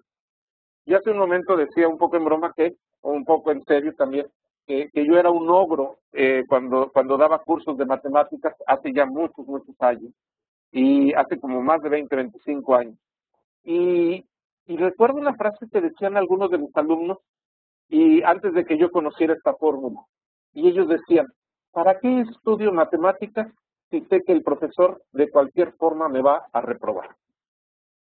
Fíjense cómo la manera de pensar de los estudiantes es, no me siento motivado a estudiar porque yo estoy condenado al fracaso. Es decir, porque la esperanza matemática, la probabilidad de tener éxito en la materia que el doctor Valenzuela imparte, es cercana a cero. Y si la esperanza matemática, la probabilidad es cercana a cero, ¿qué pasa cuando se multiplica cero por cualquier número? Cero por cualquier número es cero. Cero por diez es cero. Cero por cien es cero. Cero por mil es cero. Entonces, no importa que yo valore mucho un contenido matemático. Si la esperanza es baja, cercana a cero, la motivación va a ser cercana a cero. Y esa esperanza depende de muchos factores. También depende del medio ambiente, depende del estudiante, depende de las atribuciones de éxito y fracaso. Eh, hay otro, otro teórico que se llama Weiner y que habla precisamente de las atribuciones de éxito o fracaso que, se tienen en, en, la escuela y cómo los estudiantes tienden a atribuir el éxito fracaso a factores propios de él o a factores externos a él, a factores que son variables o a factores que son constantes. Y dependiendo a qué le atribuyes el éxito o el fracaso, si se lo atribuyes más a factores externos y no asume el estudiante su propia responsabilidad en el proceso educativo, eso automáticamente pone el locus de control fuera de él y automáticamente esta esperanza de tener éxito o fracaso se debe a factores ajenos al estudiante y por lo tanto eso es lo que determina la motivación. Cuando en realidad mucho de lo que vendría siendo la atribución de éxito que una persona tenga se debe de tener en un locus de control interno. Y cuando asumimos los estudiantes la responsabilidad de nuestro aprendizaje, la esperanza de tener éxito aumenta. Y si aumenta, y a eso le aumentamos el valor, la motivación, más allá del interés, que es la pregunta que nos hace el profesor, la motivación viene siendo un factor clave en el proceso educativo. Tenemos aquí una pregunta de Osvaldo Díaz que dice, en el diplomado hacen referencia a la interacción con los padres de familia a nivel universitario. ¿No se ha considerado esto? Me llamó la atención cuando coloque que no aplicaba. Sí, eh, eh, en cierta forma hay, hay mucha razón en ese sentido. Eh, los padres de familia, pues muchos de los, de los chicos que todavía están estudiando, a pesar de que ya puedan tener cierta mayoría de edad, pues siguen siendo dependientes de los padres de familia. Y, todavía sigue siendo controversial que tanto las universidades tienen que mantener una relación con los padres de familia o deben asumir que los estudiantes deben responsabilizarse por ellos mismos y dejar de lado a los padres de familia. Yo no diría que hay una respuesta única para este dilema, para esta disyuntiva entre lo que sería tener un mayor contacto, una mayor relación con padres de familia o dejarlos a los estudiantes libres y que se responsabilicen con el trabajo que están realizando. A mí me ha tocado trabajar en dos tipos de instituciones diametralmente opuestas, porque en una de ellas se veía mucho el trabajo con padres de familia, se tenían juntas con padres de familia, se les informaba cómo iban los hijos, cuáles eran los planes de la universidad, qué cosas se iban a construir, cómo se estaba desarrollando. Es decir, había una relación muy fuerte con los padres de familia. Y he trabajado en otras instituciones en donde la figura del padre de familia es totalmente ausente. Yo desconozco cómo es concretamente en la ESPE, pero sí es un, un tema que, que, en un momento dado, si sienten que, que, no aplica, pues lo pueden dejar de lado dentro de, esto que están viendo en el diplomado. Eh, Roberto Taco Pizarro dice, ¿pueden enviar la presentación de PowerPoint? Yo se la voy a hacer llegar a eh, Karina Martínez para que ella a su vez vea si la sube a alguna plataforma o se la hace llegar por algún otro medio. Entonces, terminando esta, esta sesión de web el día de hoy, se las hago llegar y eventualmente, pues si no es en esta semana, la semana que entra la, tendrán ustedes. me pregunta, Eh, bueno, esta ya la habíamos atendido, la, pregunta de Cinia. Mónica Endara Osejo dice, me gustaría conocer si la andragogía se establece para el trato con estudiantes adultos y su diferencia con la pedagogía. Sí, todo lo que viene siendo la, la, andragogía se ve eh, etimológicamente, andragogía eh, difiere de pedagogía porque pedagogía se refiere a los niños. Sin embargo, en otros terrenos la pedagogía eh, es el término genérico. Cuando se habla de pedagogía se ve desde, desde bebés hasta, hasta personas de la tercera edad. Y, el término pedagogía se usa de una manera genérica. Eh, los promotores de la andragogía han querido hacer como la distinción y, hacer la mención de que la educación de adultos tiene peculiaridad. ¿Por qué? Porque, por ejemplo, eh, un autor que recuerdo yo, Knowles, hablaba de que los adultos son personas que, sobre todo cuando pensamos no tanto a nivel de, pregrado o de licenciatura, sino a nivel de posgrado, están, son personas que, que, que van a estudiar con una motivación intrínseca para hacerlo.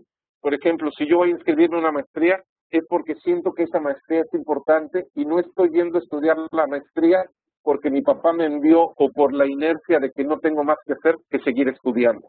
Una segunda característica que tiene la, la, educación de adultos es que normalmente los adultos ya tienen una experiencia que pueden compartir. Vuelvo a repetir, no es el caso propiamente de los adultos que son estudiantes de, de, de una licenciatura o de pregrado, pero sí estamos hablando de, de profesionistas, por ejemplo, que ya tienen varios años trabajando en el medio y que al ir a estudiar una maestría, un posgrado, tienen toda una experiencia que pueden compartir con otros compañeros. Y eso hace una diferencia fundamental cuando hablamos de la, eh, de la, de la andragogía. Entonces, sí hay sus peculiaridades, Mónica, en, en esto. Eh, repito, más allá de esto, la diferencia meramente etimológica, pues eh, es válida, pero, pero el término genérico de, de pensar que la andragogía es una parte de la pedagogía, más allá de la etimología, este, pues normalmente acepta la pedagogía como el gran paraguas y la andragogía como lo que vendría siendo la educación de adultos. Roberto Taco nos pregunta, aprendizaje por competencias, ¿lo utilizan ustedes en el TEC de Monterrey? ¿Es el mejor enfoque que existe o hay uno nuevo y mejor? Eh, el TEC de Monterrey se está moviendo hacia una educación basada en competencias. Eh, Roberto, no, no sé si si recuerdas eh, o si estuviste presente en una en la presentación que hice yo en Quito y en donde precisamente estoy buscándola y en un momento se las comparto a través de, la pantalla eh, en donde precisamente la eh, empezaba yo haciendo la distinción sobre cuatro paradigmas o ideologías curriculares que normalmente se manejan en, eh, en distintos planes de estudio.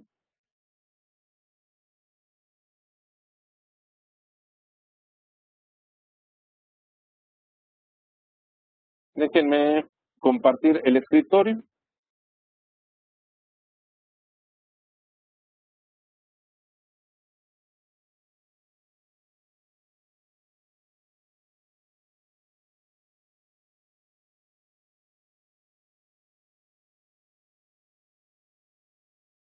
Esta, estas visiones distintas del currículum, según Shiro, en, este, en esta referencia que se habla aquí de Curriculum Theory, nos hablan de que hay dos dimensiones, fuentes del conocimiento y usos del conocimiento. Y aparte hay otra dimensión que es la realidad objetiva versus la realidad subjetiva. Y nos habla precisamente este autor de cuatro formas diferentes de enfocar el currículum, los planes de estudio, los modelos educativos. Eh, una de ellas es la ideología de la academia, que es la que pone el énfasis en las disciplinas y es lo que ha caracterizado a la educación por largo tiempo y que pone el énfasis en el saber. Mucho del trabajo que han hecho las universidades a lo largo de los años se basa precisamente en un énfasis en las disciplinas. De hecho, si uno va a universidades supuestamente muy prestigiosas en Estados Unidos, en Europa, rara vez ellos hacen un diseño curricular se basan mucho en una ideología de la academia en un énfasis de las disciplinas y en donde cada profesor propone los cursos que va a ofrecer y si el profesor ya tiene prestigio, se confía en él y cada profesor va pues configurando su, su, oferta educativa y va ofreciendo precisamente distintas disciplinas. Otra ideología es la centrada en el aprendiz. Eh, tiene un énfasis en la formación integral, sus orígenes vienen de la psicología humanista, todo, todo lo que sería el trabajo de Jacques Delors para ver de manera integral al aprendiz eh, es fundamental y pone el énfasis en el saber ser. Está la ideología de la reconstrucción social, la solución de problemas sociales, la importancia de saber transformar. Sus orígenes vienen desde el marxismo, en donde Marx hablaba precisamente de la importancia de, de transformar el mundo en el que estamos, si es que estamos a disgusto con esto, hablamos de una postura teórico-crítica y en donde, en palabras de Marx, diría, más que tratar de comprender el mundo, de lo que se trata es de transformarlo. Y tal vez a nivel pedagógico, el principal representante de esta ideología de la reconstrucción social sea en Brasil Paulo Freire. Y tenemos otra que viene pues más de, de esta, eh, pues podría decirse de estas tendencias neoliberales, de la vinculación que tiene la, la escuela, la universidad con el sector productivo, en donde el sector productivo demanda que los egresados de las instituciones educativas eh, pues tengan ciertos tipos de competencias y el énfasis está precisamente en el saber hacer. Entonces, esta ideología precisamente de la eficiencia social, de, que las instituciones tienen que ser más eficientes, más efectivas en, en esto, se va a vivir feo, pero en esta fábrica de producción de, egresados, eh, que es una especie de, de, eh, metáfora de la, de la revolución industrial, de ver a la escuela como, como una industria, precisamente nos da eh, o nos pone el énfasis en el desarrollo de competencias. Y de ahí es precisamente de donde viene pues mucho de lo que vendría siendo la educación basado en competencias. Entonces, concretamente respondiendo a, a, Roberto Taco Pizarro, sí, sí lo estamos manejando en TEC de Monterrey. Eh, TEC de Monterrey surge precisamente del sector, del sector industrial su vinculación con el sector industrial es muy, muy importante y mucho del movimiento curricular que se está teniendo se está manejando a través de, eh, de, este modelo de educación basada en competencias. ¿Es lo mejor? Yo diría que, que toda, toda elección, Roberto, implica una renuncia. Y cuando elegimos un modelo curricular específico, estamos renunciando a otros. El gran problema de, de la educación, del diseño curricular, es que queremos ver muchas cosas y el tiempo para estudiarlas es poco.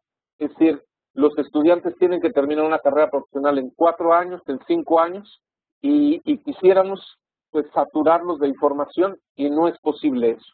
Entonces, toda elección implica una renuncia y siempre cualquier método que elijamos de, eh, de desarrollo curricular va a tener, digamos, sus, sus aspectos positivos, sus aspectos negativos. Eh, Slata Dolores Borsic nos dice, me gustaría por favor que nos dé un ejemplo del cómo organizar la clase si se tiene un grupo de estudiantes con niveles diferentes de conocimiento y formas diferentes de aprender. Fíjate que, Dolores, que, que aquí siempre ha habido una controversia en términos de, de, lo que son estilos de aprendizaje y estrategias de aprendizaje. Eh, el estilo de aprendizaje nos habla de distintas preferencias, mientras que las estrategias de aprendizaje nos dice cómo el estudiante tiene que lograr dos metas en cada uno de los cursos que lleva. Una meta es aprender y la otra es pasar la materia. Y en términos generales, la, la, la realidad, eh, Dolores, es que cuando nos paramos frente a un grupo heterogéneo, a todos les vamos a dar las clases por igual yo no te voy a dar ninguna solución a este a esta pregunta que me haces, una respuesta a esta pregunta que me haces, simplemente porque no la tengo. No tengo una respuesta sobre cómo abordar de manera diferente a, a un grupo heterogéneo cuando el tiempo con el que contamos los profesores es limitado y tenemos un programa que estudiar. Pero ¿cuál es la solución que yo le veo? Más que el profesor tratarse de adecuar a distintos estilos de aprendizaje, yo creo que el trabajo que tenemos que hacer va más allá de lo que establece el currículum. Tenemos que establecer estrategias de carácter metacurricular y sobre todo desarrollar esto que denominamos aprender a aprender. Tenemos que enseñarle a nuestros estudiantes que tienen que aprender en distintos contextos, en distintas circunstancias, que no siempre van a tener al profesor que quieren en la materia que quieren, que tienen que tener éxito en cualquier materia y en cualquier profesor, cualquiera que ésta sea. Y en ese sentido, el alumno estratégico tiene que saber adecuar sus estrategias de aprendizaje para el profesor que le cae bien o el que le cae mal, para aquel que enseña una materia que le gusta y aquel que no, le no, está enseñando una materia que le gusta. Cada situación es diferente y el alumno estratégico debe saber tener éxito ante los 20, 30, 50 profesores que va a tener dentro de una carrera profesional y las 50 asignaturas que está llevando. Yo diría que en realidad la solución, más que el profesor tratarse de adecuar a estos estudiantes, cosa que es imposible dadas las circunstancias, es enseñarle a los estudiantes a que aprendan a adecuarse a distintos tipos de profesores y que comprendan que no siempre van a tener al profesor ideal o al que les gusta o al que realmente los motiva en todas las circunstancias. Entonces tenemos que ser muy realistas en ese sentido y, uno de los objetivos que yo siempre he visto fundamentales es que más allá de la materia que yo imparto, tenemos que enseñarles a los alumnos a ser más estratégicos en su forma de aprender. Y eso nos habla de una serie de estrategias que van desde la gestión del tiempo hasta eh, el procesamiento de información, hasta la selección de ideas principales, hasta cómo tomar apuntes, cómo escuchar una clase determinada, cómo preparar un examen. Todos esos son estrategias generales que podríamos abundar mucho. De hecho, mi, tesis doctoral habla sobre aprendizaje estratégico y, yo siempre le he dado más énfasis al aprendizaje estratégico que al tema de estilos de aprendizaje, que, se me hace poco realista dada la situación de los profesores frente a grupos numerosos. Julio César Tapia León nos pregunta, eh, ¿cómo se equilibra en una clase los aspectos conceptuales, procedimentales y praxitivos? No hay una línea clara entre lo procedimental y lo conceptual.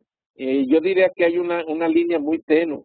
Eh, lo conceptual, también llamado declarativo, es aquello que podemos declarar. Lo procedimental tiene que ver con procesos que vamos automatizando y de los que no siempre somos conscientes. En realidad, parte del trabajo difícil de los profesores está en cómo hacer declarativo ese conocimiento procedimental. Y, y, eso es lo que tratamos, por ejemplo, cuando yo enseñaba ecuaciones diferenciales, muchas veces, eh, y, vuelvo a repetir antes de que yo estudiara temas de pedagogía, de educación, me acuerdo que me gustaba presumir frente a los estudiantes, me paraba frente al pizarrón y de pronto me saltaba cuatro o cinco pasos de una ecuación a la otra, como para presumir que hacía todo un trabajo mental, y entonces los estudiantes no faltaba el que levantara la mano y decía, pero ¿cómo pasó de aquí para acá? Le digo, pues es que es obvio, pero era un poco por, por presumir, era un poco por decir, mira, de aquí para acá me salté este paso, este, este, este y este, y me había saltado cuatro o cinco pasos que, que no era tan obvio para los estudiantes. Pero desde luego mi, mi comentario era muy irónico y poco pedagógico. Es que es obvio cómo paso de, de la ecuación 1 a la ecuación 2. Y, y, y, con el tiempo fui aprendiendo de que parte del, trabajo fino que el profesor tiene que hacer es que si el profesor ha automatizado ciertos procesos, muchas veces ya no está tan consciente de cómo realiza ciertos procedimientos. Entonces, tiene que volver a regresar a sus orígenes y tiene que decir, ¿cómo puedo hacer declarativo este conocimiento procedimental para que los estudiantes lo puedan comprender de una mejor manera? Yo creo que es ahí donde tiene precisamente que ver este, este aspecto eh, importante. Cuando hablamos del aspecto procedimental, nos referimos al cómo hacer las cosas y bueno, yo no hago una, yo no hago una distinción entre esta parte procedimental y lo que tú llamas aquí como la práctica, que la práctica es propiamente el llevar a cabo las cosas, ¿verdad? El hacerlo. El, el conocimiento procedimental tiene que ver precisamente con el aspecto eh, de, praxis, de, de hacer las cosas. No, no sé, ojalá que haya respondido a la pregunta, Julio. Eh, Pablo Barrón pregunta, ¿cuáles serían algunos factores que determinan el éxito de los alumnos en ambientes virtuales en la adquisición de aprendizajes significativos? Yo diría que un factor fundamental sería el, el, diseño de los, de los cursos, de los ambientes de aprendizaje. Otro aspecto fundamental es el, el tutoreo. Déjenme compartir eh, en la presentación, dentro de los muchos temas que les iba a comentar,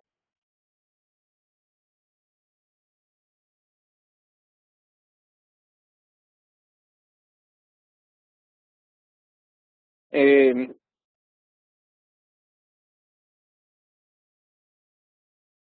le, está esta, esta eh, presentación en donde eh, hablo sobre la interacción, la, la idea de precisamente de que en modelos de educación a distancia, educación virtual, el estudiante tiene que interactuar con materiales de aprendizaje, con el equipo docente y con otros compañeros.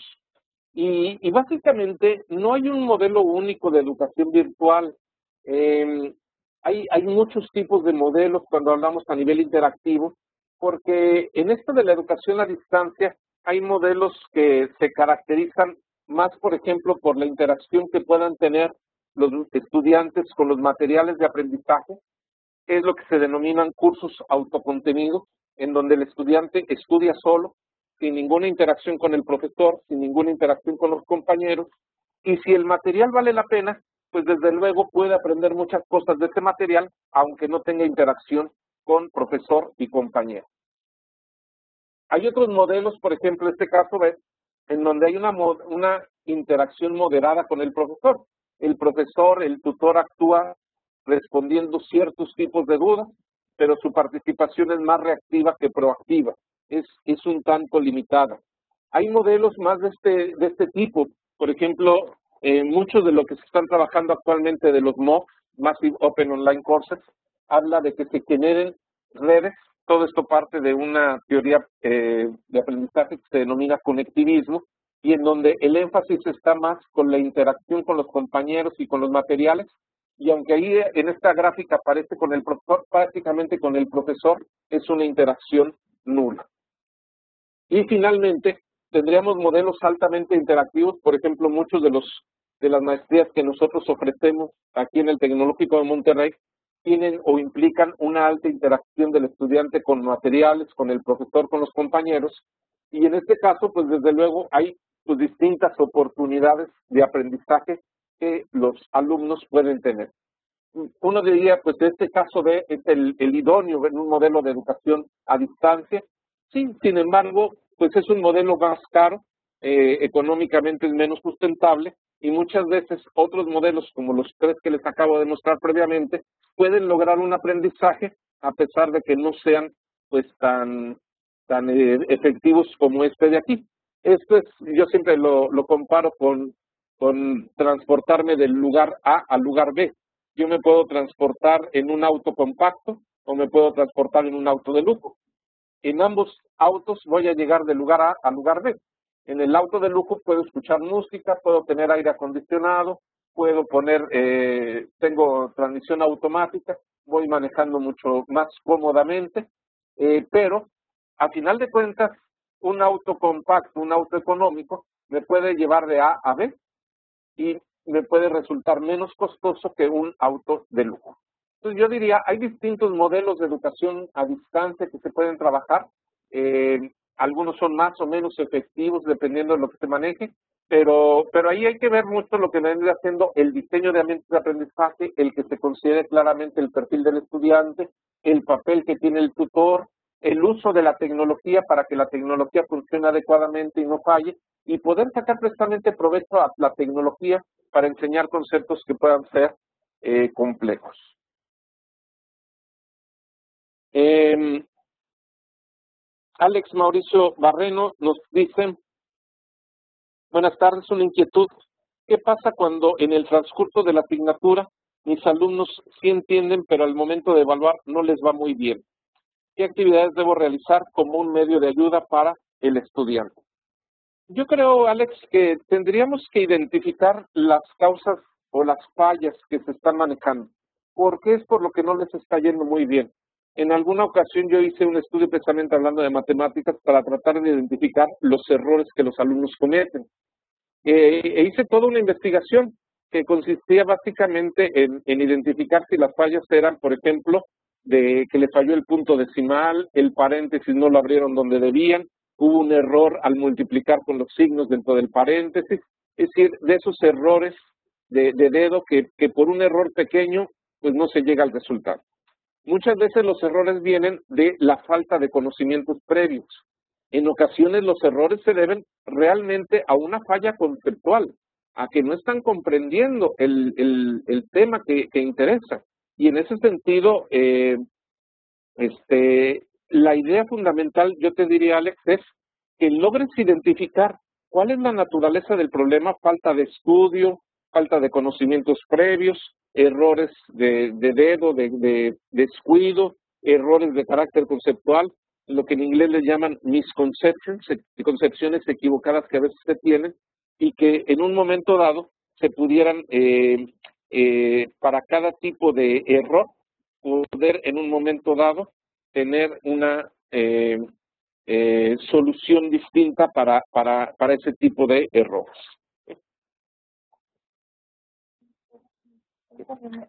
Eh, José Rogel dice muchas gracias por la fórmula, excelente. Sigue, sigue estudiando, José, la, la fórmula de motivación Expectancy Value Theory de Rotter y Atkinson. Es una teoría de carácter cognitivo de, de la motivación, de la psicología cognitiva, y vale la pena.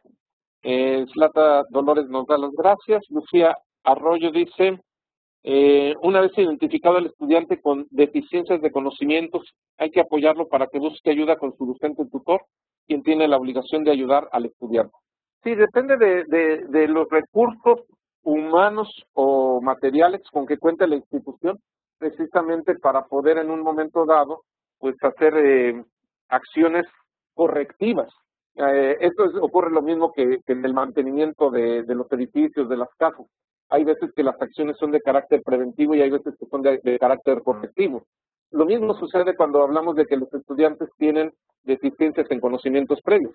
Hay acciones que tenemos que corregir en su momento y hay otras que tenemos que prevenir para evitar que, que repercutan en cursos posteriores. Carlos Chávez nos pregunta en una institución cuya modalidad es tipo internado, ¿tendríamos que ver o tomar en cuenta algún otro factor para mejorar el proceso de enseñanza-aprendizaje? Eh, pues yo creo que los factores que estamos tomando en cuenta son suficientes para, para distintos tipos de modalidades. El, sinceramente no he estudiado así, esto no se me viene a la cabeza alguna peculiaridad que habría que tomar en cuenta. Eh, en algún estudio que yo realicé, eh, precisamente veíamos qué tanto el trabajo extraclase es determinante en el éxito que los estudiantes tienen en el en, el, en, en su en la escuela. Y, y, una de las cosas fundamentales que, que, ocurre es que los estudiantes cuando realmente aprenden, fíjense lo que les voy a decir, los estudiantes cuando realmente aprenden, lo hacen cuando están estudiando en sus casas y realizando las tareas. Durante las clases que toman en la universidad, los profesores los bombardeamos con tal cantidad de información que los estudiantes rara vez recuerdan todo lo que les decimos. Un estudiante estratégico tomará buenos apuntes y esto con la esperanza de que cuando llegue a su casa los pueda revisar, pueda hacer la tarea, pueda en un momento dado hacer el proyecto que está manejando y yo diría, allí es justamente cuando se lleva a cabo el verdadero aprendizaje. No cuando lo saturamos de información en una clase de una hora, hora y media, o como por ejemplo en este caso el día de hoy y yo, que, ya vamos a cumplir las dos horas de estarlo saturando de información. Y la pregunta para ustedes es, de todo lo que les he dicho, ¿qué recuerdan? Ojalá que muchos estén tomando notas, estén tomando apuntes, porque cuando ustedes revisen esos apuntes es cuando realmente se va a dar el aprendizaje. ¿Qué pasa cuando el chico llega a su casa y se dedica a ver televisión, a escuchar música, a salir con los amigos y no realiza la tarea? Pues yo creo que es ahí donde se pierde la oportunidad propiamente de aprendizaje. Y justamente cuando pensamos en un internado, yo creo que es cuando tendríamos un poco más de control acerca de cómo se, se puede realizar la tarea de una forma sistemática en las tardes y al mismo tiempo, pues el, el, brindarles a los estudiantes otro tipo de actividades de tipo deportivo, cultural, etcétera, que, que complementen pues lo que es la formación meramente académica.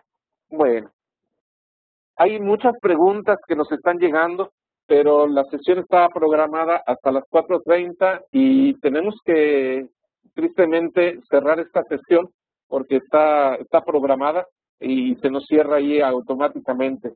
Entonces, antes de que esto ocurra, pues yo quería despedirme, agradecerles a todos ustedes su participación. Estoy contando 108 personas conectadas en este momento. Empezaron unos poquitos menos, pero poco a poco se fueron integrando. ¿Y empezaron más? Se, han ido saliendo un poco. 133, me dicen aquí que, que fue el, el tope al que llegamos. Pues yo les quiero agradecer eh, pues este tiempo de, de interacción. Eh, repito, creo que hay muchas cosas que, que vienen en la presentación que tratan de responder a inquietudes que ustedes han manifestado allá a quien coordina el, este programa y que a su vez han llegado aquí a las coordinadoras. Pero yo les diría, hay, hay muchas oportunidades aquí de aprender, de que le saquen provecho, de que saquen lo mejor de todo esto, de que lo pongan en práctica y de que, y que realmente esto pues se vea reflejado en un mejor aprendizaje de sus alumnos. Muchas gracias a todos por su atención y muy buenas tardes.